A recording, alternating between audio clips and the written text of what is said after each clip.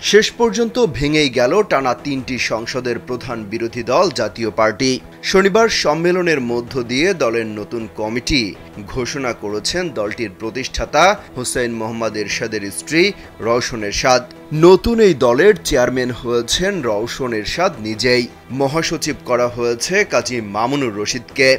কমিটিতে জায়গা পদের প্রায় সবাই মূল দল থেকে বহিষ্কৃত কিংবা উপেক্ষিত। এছাড়া জাতীয় সংসদ নির্বাচনে মনোনয়ন বঞ্চিত এবং আওয়ামী লীগের সঙ্গে সমঝোতার তালিকা থেকে বাদ পড়ারাও ভিড়েছেন রওশনের দলে। সব মিলিয়ে প্রতিষ্ঠার পর থেকেই এটি জাতীয় পার্টির সবচেয়ে বড় ভাঙন বলে সংশ্লিষ্টরা মনে করেন। একমাত্র ওয়ালটন এসি দিচ্ছে এক বছরের রিপ্লেসমেন্ট গ্যারান্টি এবং কম্প্রসারের দশ বছরের গ্যারান্টি তবে জাতীয় পার্টির মহাসচিব মজিবুল হক চুন্নু এই সম্মেলনকে গঠনতন্ত্র বিরোধী উল্লেখ করে বলেছেন। রওশনপন্থীরা নতুন একটি দল গঠন করলেও জি এম কাদেরের নেতৃত্বে তারাই মূলধারার জাতীয় পার্টি। সম্মেলনে জিএম কাদেরের সঙ্গে থাকা বেশ কয়েকজন শীর্ষ নেতা যোগ দেবেন।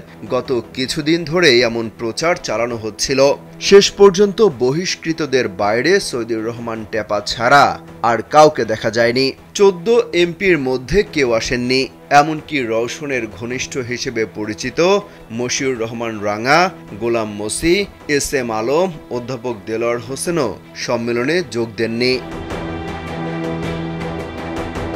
বারো হাজারের বেশি কাউন্সিলর এবং ডেলিগেট উপস্থিত থাকার দাবি করেছেন আয়োজকরা। সম্মেলনে সংহতি প্রকাশ করে বক্তব্য দেন কৃষক শ্রমিক জনতা লীগের সভাপতি বঙ্গবীর কাদের সিদ্দিকী। এতে চোদ্দ দলের নেতাদের আমন্ত্রণ জানানো হলেও তাদের কাউকে দেখা যায়নি।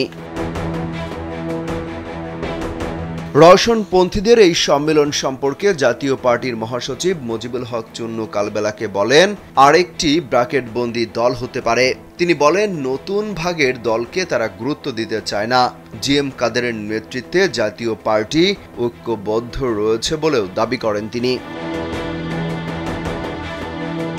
তবে নিজেদের জাতীয় পার্টির মূলধারা দাবি করে রওশনপন্থী নেতারা বলছেন, জাতীয় পার্টির নিবন্ধন ও প্রতীক তাদের নামে দেওয়ার আইনি লড়াই চলবে। এরই মধ্যেই বিষয়ে নির্বাচন কমিশনে আবেদন করা হলেও তা নাকচ হয়েছে।